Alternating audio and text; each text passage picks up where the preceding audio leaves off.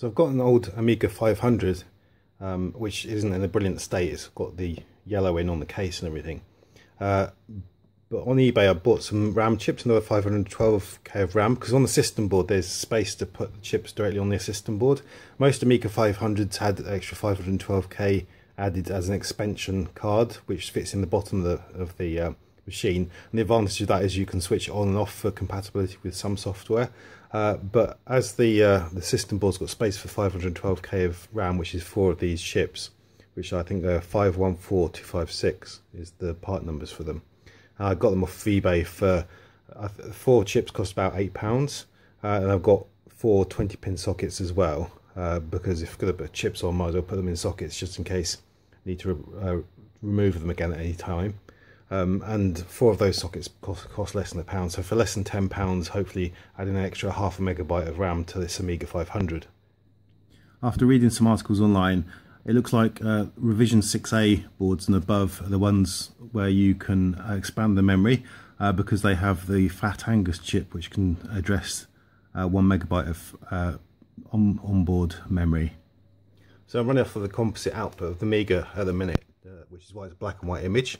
And I'll boost it up into Workbench and it reports after Workbench has taken some of the memory at the top of the screen it reports um, 362k of uh, RAM free. So after I've installed the chips, that should go up by about 500. So about 862k I'm expecting after I've installed the memory and uh, I'm booted into Workbench again.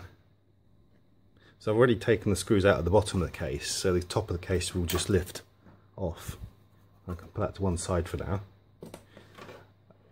Uh, and the keyboard just rests on here um, and you just uh, pull out the connector there and you can lift the keyboard off that's nice and easy okay I've just uh, taken out the four screws which hold the RF shield in uh, and tags I've already bent upwards uh, there. So this should lift out reasonably easily.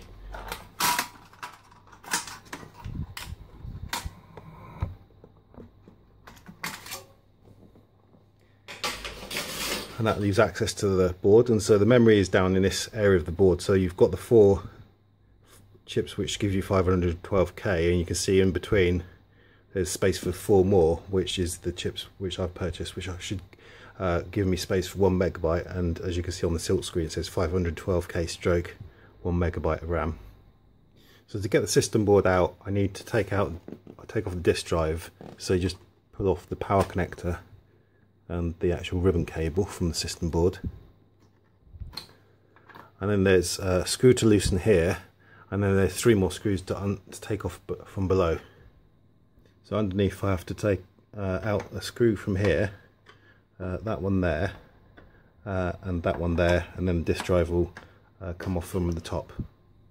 So now all that holds the PCB in is a little tag here so you probably want to be careful when uh, when levering that to get the PCB out.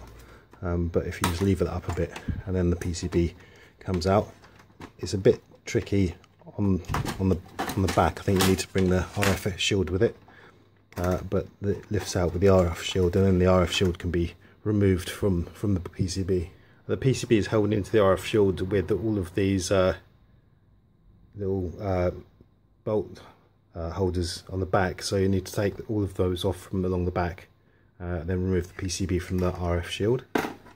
So these are the sockets for the RAM chips um, and they need decoupling capacitors as well. Uh, so I'm going to try and because the the holes are filled with solder as you can see there from I guess from the wave sol flow soldering um, process that assembled the boards so I'm going to try and add a bit of solder and then just use my cheap solder sucker to try and clear those holes out. And if I can do that, then uh, I'll put the sockets in. Uh, but if the cheap solder sucker doesn't uh, work, then I'll use my bigger solder sucker. So I've uh, gone through a few of these holes uh, with this cheap solder sucker and it seems to remove the solder reasonably well. Like that. The um,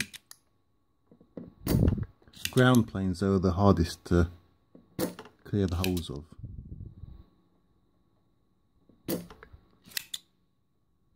But what I'll do is I'll do them off camera because it's hard to do it on camera uh, and then come back. Okay so I've managed to clear out all the holes. What I needed to do was put some flux on the top and then it sold the solder sucked out uh, really easy.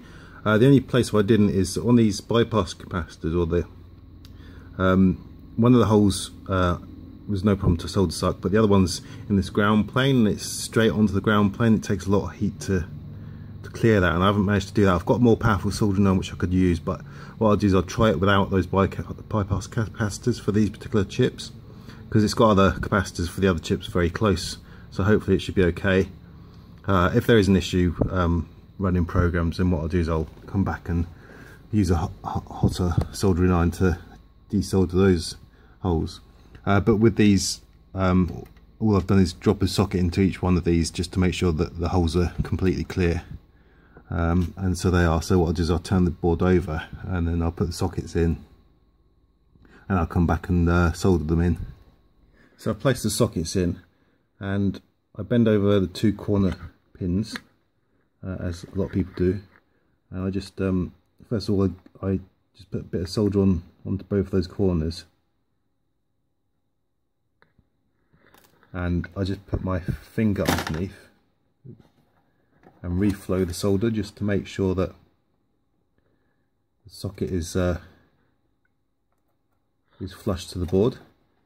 And I'll go around and do the other pins. So I'll do that and uh, then come back again.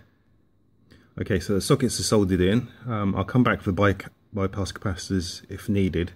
I'll turn the board over and put the chips in. Okay so there are sockets in in the board. Uh, I've got chips here uh, and they should be hopefully the right part number. Uh, I didn't check the speed because they're more modern chips so in theory they should be faster and should be okay, should be okay. But anyway if I've got the speed wrong then at least being socketed I can take them out again.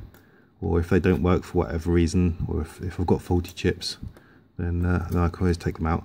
But I'll put them in like that and I'll reassemble the computer and see if it reads as being one megabyte installed a couple of other things that need uh, to be done is this Fat Agnus chip here needs to be a certain revision on this uh, revision 6A board that I've got here. The chip seems to be the right chip to run one megabyte of RAM. Uh, and also this JP2, um, there's a little link between the bottom two pins that needs to be cut uh, and it needs to be bridged between the top two pins to turn it into a 1 meg board. So Amiga Workbench now reports 885k of memory available so the 1 meg on the system board has, uh, has worked.